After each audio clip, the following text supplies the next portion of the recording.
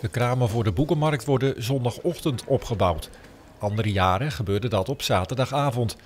De organisatie is bang dat Oranje supporters dit jaar de kramen vernielen. Op zaterdagavond speelt het Nederlands elftal namelijk tegen Costa Rica op het WK. Afgelopen weekend kwam het ook al tot ongeregeldheden in de binnenstad. De kramenbouwers moeten wel vroeg een bed uit. Het opbouwen begint zondagochtend om 5 uur.